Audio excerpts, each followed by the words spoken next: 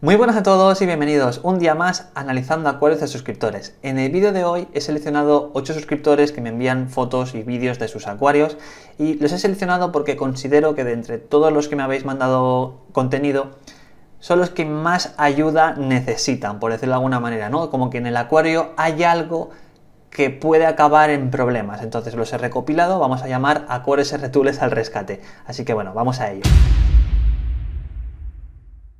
Hola Raúl, mira, te mando mi acuario. Actualmente tengo un acuario de 25 litros. Eh, tengo grava de cuarzo, no le he puesto aquabasi ni nada porque este acuario me monté de novata y no tenía mucha idea. Tengo una roca volcánica, una nubia que tiene muchas cositas feas en las hojas, no sé qué tipo de hmm. problema tiene. Ahí se puede ver. Luego tengo un pez beta eh, los neones, una pantalla Twinstar, creo que es de la serie B, eh, un filtro Aquaclear 20 y el calentador es un calentador de la marca Marina y el termómetro. Mm, bueno, ¿cómo podría yo arreglar este acuario? Pienso que los neones habría que quitarlos porque no reúnen el cardumen mínimo ni los litros, o sea, me tendría que quedar solo con el pez beta. Eh, luego la grava esta blanca, retirarla, que no sé muy bien cómo hacerlo, para poner debajo el aquabasi y plantar otras cosas. Aún así, mm, bueno, el fondo, como ves, tengo una cartulina negra, pero aún así no sé qué, qué ideas me puedes dar para mejorarlo. Muchas gracias. Realmente este acuario, el único problema grave que tiene, vamos a llamarlo así, vendría siendo el beta con los neones, ¿vale? Ya aparte de parámetros, eh, sino por el espacio también. Los neones, aparte que son pocos, vemos que hay 1, 2, 3, 4, 5, requieren de como mínimo 11, 10, 11, 12, ¿vale? Y un acuario un poquito más grande que puedan nadar, un acuario cúbico no es un acuario ideal para estos peces, ¿vale? Para este tipo de peces.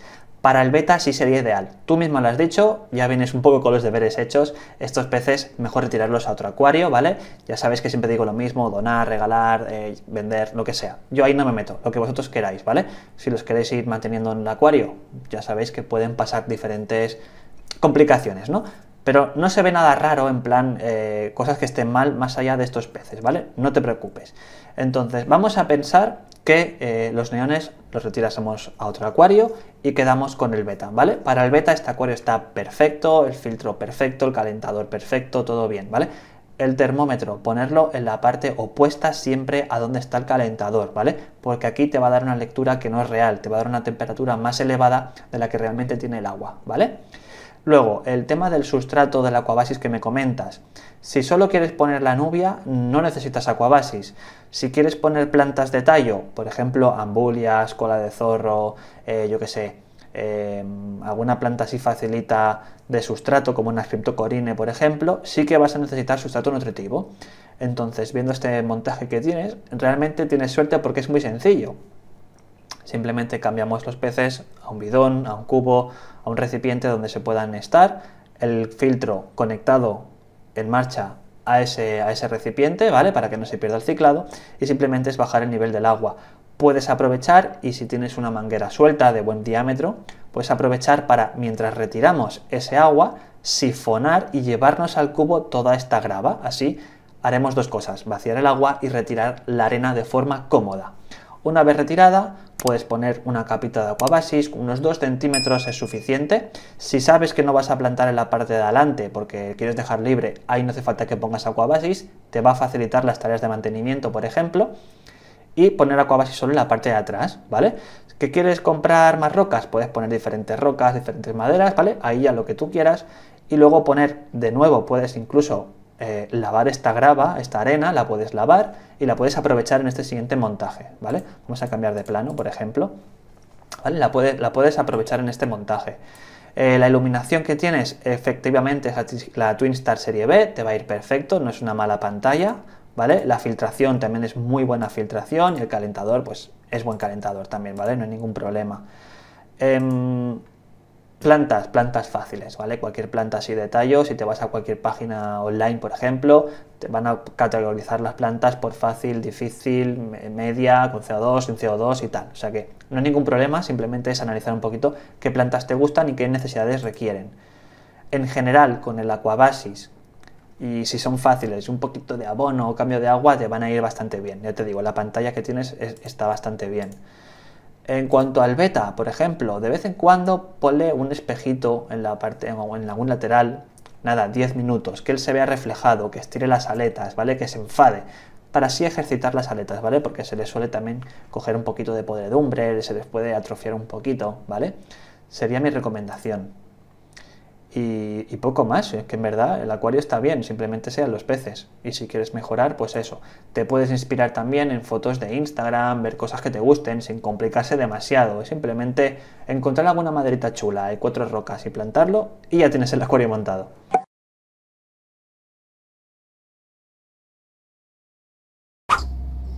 Hola. Hola. Hola, damas y caballeros. Y buenas noches.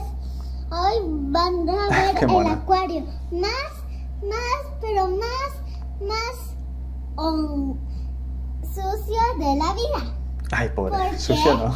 tiene muchas algas y no sé cómo quitarlas. Así que les vamos a presentar el acuario. Así que... Venga, va. La luz tenemos ahí. Justo ahí. Y tenemos mucha alga que está aquí. Esas son bucefalas. Vale, em, alga barba, alga pincel, alga incluso stathorn, pero seguramente alga pincel, donde se puede ver. Es una alga muy complicada, es una alga muy difícil y tú tienes muchas.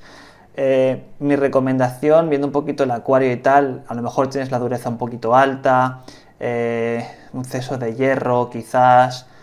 Es complicada, es una alga complicada. Tengo una guía en, mi página web, la puedes visitar. Aún así, eh, eh, las causas te las voy a dejar aquí también en pantalla para que las puedas ver. Y, en fin, puedes cambiar el agua, hay que cambiar mucha agua, ¿vale? Puedes utilizar un poquito de agua oxigenada, por ejemplo, en las zonas afectadas. Va a ser laborioso, va a ser complicado, ¿vale? Va a ser en tiempo, no va a ser algo que vayas a retirar en una semana ni en dos, estamos hablando de un mes fácilmente. Eh, ir dosificando antialgas, ir dosificando agua oxigenada, el método que tú elijas, pero poco a poco, ¿vale? Porque tienes muchísima y tampoco es plan de eh, utilizar tanto químico en el acuario. Además, las plantas también pueden sufrir, ¿vale? Entonces, utiliza ese método que utilices, poco a poco, con paciencia cambios de agua abundantes y detectar si tienes un exceso de hierro o si tienes un KH muy duro por lo que sea, ¿vale? Vamos a salvar esas bucefalandras porque son unas plantas muy bonitas, una de mis favoritas, muy caras y sería una pena echarlas a perder. Sigamos con el vídeo, a ver qué nos comenta. Y estas son anubias. Es que hay mucha alga, ¿eh? Tenemos un filtro acá. Vale, eh, perdón por ir cortando, ¿vale? He visto que tienen un comedero automático, vemos también que tiene un filtro de eh, skimmer, ¿vale? Eh, cuidado con esto, no sé si lo tienes programado, si no, si ya lo haces o no, pero que sirva de consejo para los suscriptores. Comedero automático con filtro de skimmer incompatibles, ¿vale? Porque si la comida flota en exceso, el filtro de skimmer lo va a succionar. Entonces, lo ideal sería parar el skimmer cada vez que se eche comida. Como es un filtro automático, lo suyo sería programar de tal forma eh, que parase el filtro de skimmer unos minutos antes de que se conectase el, auto el autocomedero, el comedero automático, y después de unos dos o tres minutos después de que se haya activado el comedero, que la comida ya ha sido consumida en gran medida, activar otra vez el skimmer, ¿vale? Esa sería una buena manera de no desperdiciar comida y de evitar problemas, por ejemplo, de fosfatos. A lo mejor simplemente es lo que te pasa tienes un exceso de fosfatos, porque a lo mejor la comida se queda succionada aquí en, esa esponjita que hay en el skimmer, se queda ahí toda la semana hasta que hagas el mantenimiento, por ejemplo, y esté soltando fosfatos, entre otras cosas, ¿no? Podría ser una de las causas. ¿Con el CO2? ¿Con el CO2? Aquí es la salida del filtro. Aquí es la salida del filtro. Y ahí está saliendo el CO2. Y ahí está saliendo el CO2. Señala las burbujas. Ahora aquí tenemos el tanque de CO2. Aquí tenemos el tanque de CO2. Señala. Ahí ya está. Ahora el filtro. El filtro. Y este es el otro filtro. Y este es el otro filtro. Tiene un buen prefiltro ahí. Y este es el sistema de luces. Y por eso mándenos la respuesta de cómo quitamos esas algas. Qué mona.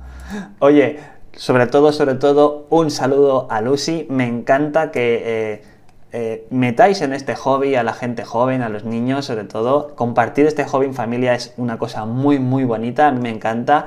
Y oye, como digo, un saludo, Lucy. El tema de las algas y tal, ya, ya os digo, cuando me enviaron el vídeo les comenté por correo y tal qué, podían hacer, pero bueno, vamos a hemos comentado un poquito también para el resto de seguidores que ven este vídeo qué pueden llegar a hacer. Como digo, incluso abajo en la descripción del vídeo os voy a dejar el enlace a mi guía de algas, donde entre todas las algas también está esta y ahí se puede, se puede arreglar. Yo utilicé, por ejemplo, la, el, ¿cómo se llama? El apt fix, pero sí que es verdad que se vende en España, pero no sé si se venden en otros países, seguramente no, por eso no lo quiero recomendar. Si no, esta alga la eliminamos en un mes fácilmente, ¿vale? Pero igualmente igual no la venden, así que habrá que utilizar alternativas. Una pena, pero bueno, con paciencia estoy convencido de que esto se puede arreglar.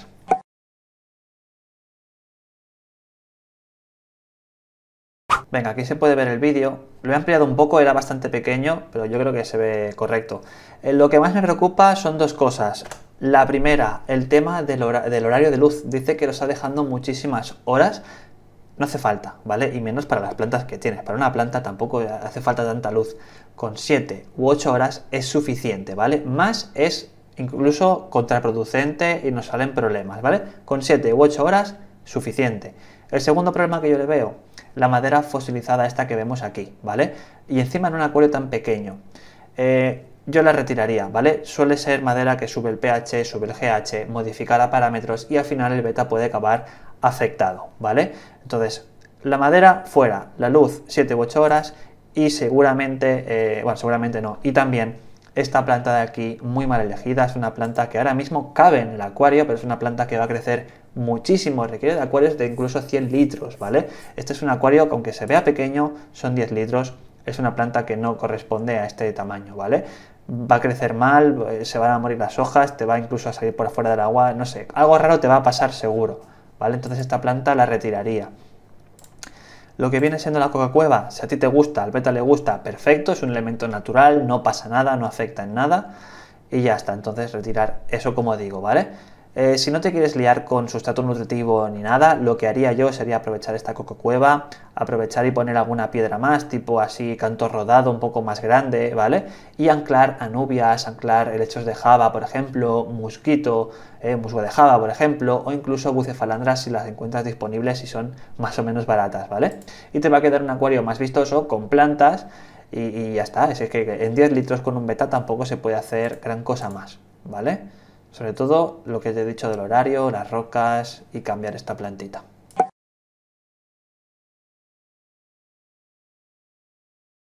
Vale, aquí se puede ver el acuario de la miniatura, ¿no? Aquí vemos un acuario muy muy pequeño, ¿vale? Has caído en la tentación de los peces de colorines, los peces transgénicos, los peces fluorescentes, como lo queráis llamar, pero aún así son peces que no están bien en este acuario, porque son peces que requieren de más litros, de más volumen, de más espacio, ¿vale? Entonces aquí tienes dos opciones. Si quieres mantener estos peces necesitas un acuario más grande, si y si quieres mantener este acuario necesitas retirar estos peces, ¿vale? Entonces, eh, diferentes cositas. Por ejemplo, la pegatina esta de termómetro, hasta donde yo sé, la, parte que engancha está la parte de atrás, no la parte donde se ven los numeritos. Es decir, seguramente la tengas puesta dentro del agua del acuario. Se te va a estropear, seguro. Estas pegatinas están pensadas para ponerlas fuera, ¿vale? La parte de fuera y sobre todo no ponerla en un sitio tan visible. Yo la pondría en un lateral, por ejemplo, ¿vale? Que no se vea tanto. Siempre y cuando tú tengas acceso para ver, por supuesto. El calentador en un acuario tan pequeño pues es normal, no te cabe, tienes que ponerlo de forma eh, así, horizontal, tampoco pasa nada, si el fabricante lo permite no hay ningún problema. El filtro, bueno, vemos aquí, no estoy seguro si hay material biológico, vamos a pensar que sí, en caso de que no, retirar toda la esponja, que es lo que seguramente venga con esos filtros, y añadir material biológico, ¿vale? Material biológico que funciona muy bien y es pequeño, quizás el Matrix, eh, em, el Substract Pro de Heim y poco más. Yo me decantaría por esos dos, ¿vale? Y lo dicho, o los peces o el acuario. En el caso de que te quieras quedar el acuario, en este caso yo elegiría un pez beta, ¿vale? No puedes poner ningún otro pez que no sea un beta en tan pocos litros. En tema de sustrato, está mal elegido en el sentido, vamos a hablarlo así, de que no es nutritivo, con lo cual las plantas no te van a crecer, van a morir, están condenadas, ¿vale? De hecho, en esta foto se puede ver que aquí no tienes luz. Literalmente no hay luz en el acuario, lo has puesto así como en un belén o algo así, que bueno, eso ya cada uno lo suyo, pero el acuario no tiene luz, con lo cual cualquier planta que pongas no va a vivir, ¿vale? Necesitas invertir en una luz, que viendo el tipo de marco que hay en este acuario, por eso nunca recomiendo acuarios con marco, lo tienes complicado. Vas a necesitar bricolaje, por decirlo de alguna manera, o arriesgarte, o arriesgarte, ¿vale? Ahí vas a tener que estudiar qué tipo de iluminación necesitas. Quizás uno de tipo foco que se pueda conectar de alguna manera. Es que claro, todos van con pinza, prácticamente van todos con pinza. Vas a necesitar quizás un bricolaje que te puedo eh, aconsejar, de hecho lo tengo yo en el, en el caracolario poner alguna plancha, ya que sea de madera, de metacrilato, algo duro pero finito, ponerlo en la parte de atrás, ¿vale? Y la parte de la pinza engancharla ahí, ¿vale? Entonces podríamos decir que la parte de atrás tendría como un segundo cristal, un segundo... Cristal es más frágil, ¿vale? Pero para que me entendáis, una madera, por ejemplo, una fuyola que la llamamos aquí, enganchas ahí lo que viene siendo la pinza y ya te viene a parar aquí. Blau, eh, tipo Kessil para que me entendáis, ¿vale? Algún foco, porque las Chihiros, las Twinstar, no te van a encajar en este marco, entonces también tendrías que colgarlas de alguna manera, que para eso venden los accesorios, ¿vale? Eso siempre y cuando quieras plantas, si no quieres plantas te ahorras todo el tema. En cuanto a la grava, aparte de que no es nutritiva y las plantas no te van a vivir, imaginemos que hay luz, es una grava bastante gruesa, hace que el acuario se vea más pequeño. Yo elegiría una grava un poquito más fina, por ejemplo, grava arena de cuarzo, por decirlo de alguna manera, ¿vale? Ahí te va, te va a hacer el acuario un poquito más grande y va a ser mejor. Las plantas van a enraizar mucho mejor, por ejemplo, siempre y cuando eh, tengamos esas condiciones, como digo, de luz y tal, ¿vale? Que es un acuario complicado, es un acuario complicado, ¿eh?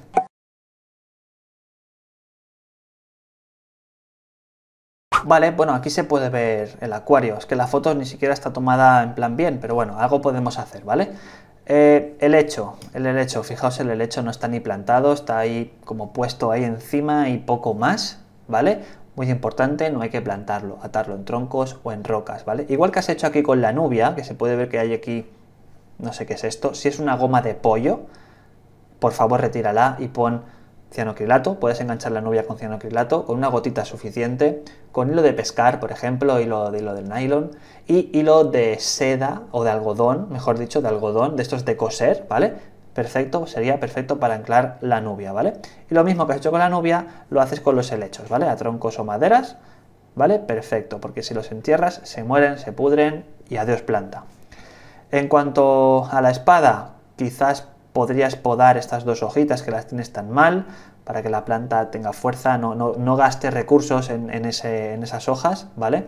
Esta de aquí que tienes delante, que no sé si está plantada, medio plantada o no, es una planta que no se puede, o sea, no se puede, puedes poner lo que quieras, ¿no? Pero me refiero, no se suele poner en la parte delantera porque crece mucho, te quita vistosidad, se pondría en la parte trasera. Entonces lo que haría yo, por ejemplo, sería mover quizás un poquito esta piedra, esta, este, esta raíz con este lecho ponerlo un poquito más hacia la derecha y esta planta ponerlo justamente en ese sitio, ¿vale?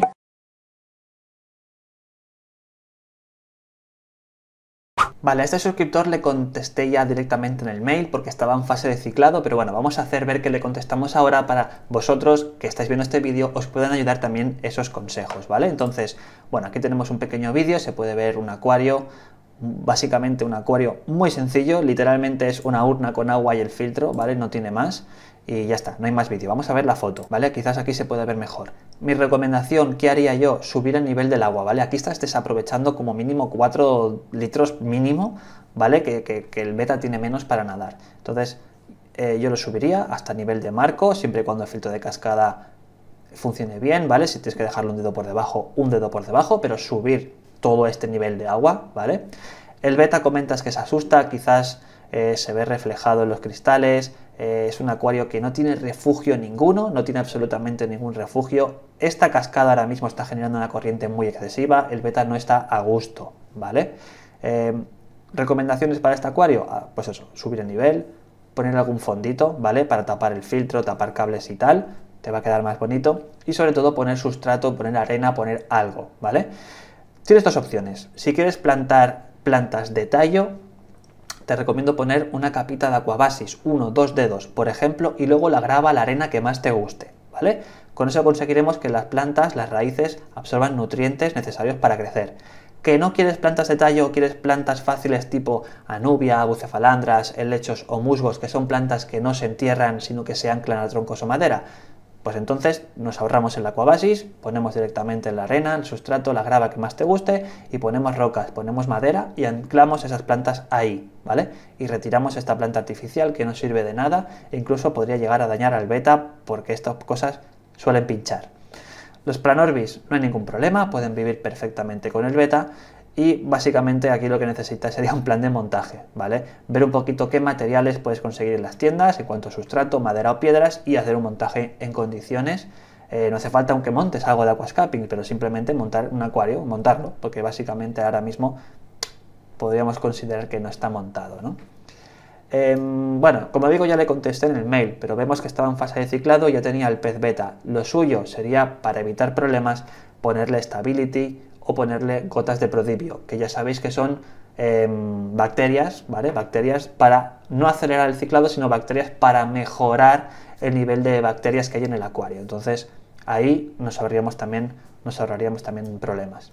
Y por cierto, que viendo en la parte del principio del vídeo, eh, aquí tenemos la iluminación, se ve una iluminación muy escasa, entonces en cuanto a plantas también te puede llegar a perjudicar, ¿vale? Las anubias, como digo y tal, son plantas que no requieren de mucha luz, igual te iría bien, pero posiblemente sea una luz insuficiente, ¿vale? En este caso yo te recomendaría una pantalla que vaya de punta a punta, ¿vale? O sea, que ilumine de punta a punta como cualquier tipo de pantalla, ¿vale? Como las que tengo yo, por ejemplo, aquí detrás, ¿vale? Entonces sería mejorar.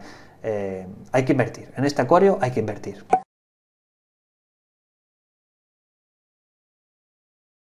Vale, de todos los acuarios que estamos viendo, este parece ser el más verde, que más verde tiene, ¿no? Podemos ver que tiene mucha planta flotante con sus raíces, a mí me gusta mucho el efecto que dan, pero hay cosas que necesitan ese pequeño rescate, ¿no? Por ejemplo, los peces. Son peces que requieren de mucho más sitio, ¿vale? Estos, estos neones requieren de mucho más sitio, requieren un cardumen bastante bien, aquí, aunque aquí hay bastantes, pero son muy pocos litros para estos peces, ¿vale? Los peces están mal elegidos, necesitan un acuario más grande. Para este acuario yo pondría, por ejemplo, un beta, que con las condiciones que tienes aquí viviría como un rey, como un buen verdadero rey. ¿Vale? Luego también me preocupa mucho el tema de las cladóforas, que son estas plantitas que tienes aquí. Recordar que no son plantas, son algas que han cogido forma de, de bolita, por decirlo de alguna manera. Esto, si te explota, vamos a llamar explotar, te invade todo el acuario y hay que tirarlo todo a la basura. Plantas, madera, sustrato, todo porque no se puede salvar, ¿vale? Entonces, retíralo en cuanto antes. Una vez hayas retirado esto y hayas cambiado los peces, el acuario en general está bastante bien. E incluso si no quieres dejar peces, o sea, si no, estos peces no, desde luego. Si no quieres el beta, podrías hacer un gambario.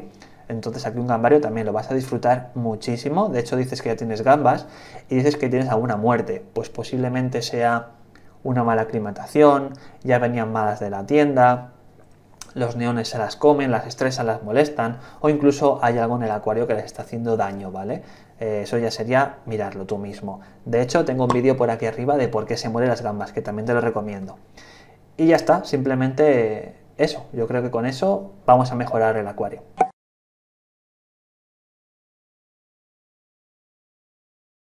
Básicamente estamos viendo, se nota que estamos viendo un acuario de alguien que está empezando. No pasa nada, los inicios son los que son. Entonces vamos a intentar mejorar este acuario, ¿vale?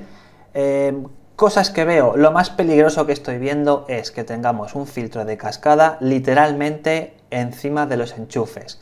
No tiene por qué pasar nada, pero cuando un filtro de cascada se satura puede llegar a desbordar. ¿Y qué hay justo debajo? Enchufes, luz, electricidad. Tenemos un problema, ¿vale? Entonces, o cambias de sitio el, filtro o cambias de sitio los enchufes. Eso sería lo básico y lo más importante, ¿vale? Dicho esto, vemos que, bueno, tienes un pequeño filtro de cascada, perfecto para, por ejemplo, un beta. Eh, vemos que tienes una iluminación bastante pobre, las cosas como son, ¿vale? Vemos el calentador, el termómetro justo al lado contrario, eso está bien. Yo el calentador, sinceramente, lo pondría de forma completamente horizontal, ¿vale? Justo la entrada del, y la salida del filtro, te va a quedar más estético y va a funcionar también igual de bien. Eh, plantas, vemos aquí plantas tapizantes, ¿vale? Eh, viendo el nivel del acuario, imaginemos, seguramente sea una persona que recién inicia en el hobby, incluso que no tenga mucha edad, ¿vale? No cojas plantas tapizantes hasta que tengas muchísima más experiencia, ¿vale? Y sobre todo mejores la iluminación. Este acuario no es para plantas tapizantes. ¿Qué haría yo? Inversión número uno, una buena iluminación. Una iluminación, por ejemplo, las chijiros. Digo las chijiros porque las venden al Express y sirven prácticamente a todo el mundo y las podéis conseguir fácilmente, ¿vale? Entonces, con unas chijiros a series, que os dejo un vídeo por aquí arriba, puedes ponerla y la puedes poner de punta a punta, te ilumina todo el acuario y vas a poder tener mejor opciones para plantas, ¿vale? Olvidémonos de las plantas tapizantes. Vemos que tienes muchísimo sustrato, realmente no hace falta tanto, aunque con la criptocorine igual está bien, que las criptocorines son de, raíz gruesa, estaría bien. Si no tienes sustrato nutritivo debajo, eso también habría que, intentarlo, ¿no? Como hemos visto en el vídeo del principio, sería retirar la arena, poner sustrato y volver a poner la arena, ¿vale? Con la primera suscriptora. Eh, si tenemos eh, sustrato nutritivo o incluso si quieres aprovechar esta arena y quieres poner bolitas de JBL, de Trópica y tal, también puede ayudar. No funciona tan bien, pero también puede ayudar, ¿vale? Ahí podrías poner pues plantas como la criptocorine, que son plantas que para este acuario igual tamaño acuario ya no tanto, quizás ambulias, como digo, es que siempre digo las mismas cosas, que son plantas fáciles, ¿vale? De hecho yo mismo las tengo, ¿vale? Anubias, bucefalandras, ¿vale? Helechos de java, musgo, como digo diciendo todo el vídeo algún tronquito alguna roca, eso pues te va a ayudar, te va a decorar el acuario y vas a empezar a coger experiencia, ¿vale? Que es lo importante, ¿vale? Luego, para limpiar el, para limpiar el acuario, esto de aquí, este experimento no hace falta, ¿vale? No hace falta, ¿vale? Incluso hasta me preocupa que, puedes pillar algo de gravita y rayar el cristal, ¿vale? Simplemente con una tarjeta, por ejemplo, una tarjeta de crédito vieja, cualquier suscripción de esas a cualquier tienda que os dan tarjetas, incluso las gasolineras, nos regalan tarjetas cada, para, hacer puntos, ¿no? Cogemos y limpiamos los cristales y ya está, no hace falta tampoco tanto. Ahora, si lo haces porque no te quieres manchar las manos, un imán, por ejemplo, un imán. Vas a controlar, vas a controlar mejor cómo limpias que con esto, que con el palo, ¿vale? En fin, eh, como suscriptores anteriores, es un acuario que necesita de inversión y conocimiento. Entonces, simplemente leer, leer, preguntar mucho y volver a leer. Bueno, pues estos son los 8 acuarios de hoy. Espera, me saco los cascos. Ahora sí, estos son los 8 acuarios de hoy. Hay algunos muy mal, algunos con algas, otros que prácticamente eran acuario con agua, una urna con agua. Bueno, en fin, espero que mis comentarios os hayan podido ayudar, os hayan podido inspirar en que sea ayudar un poquito, yo me conformo. Ese es el objetivo de estos vídeos. Espero que este vídeo os haya gustado. Yo me despido ya porque he grabado tres vídeos seguidos y estoy cansado. Lo dicho, espero que os haya gustado. Si es así, dadle un like, suscríbete si no lo estás y nos vemos en el próximo vídeo. Adiós.